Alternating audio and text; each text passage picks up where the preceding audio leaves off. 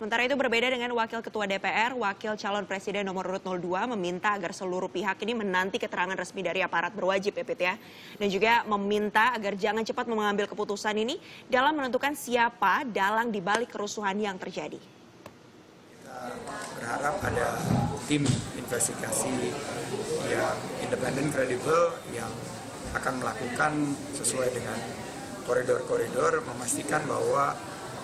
apa yang terjadi pada saat itu bisa diungkapkan kepada publik dan tidak ada lagi pertanyaan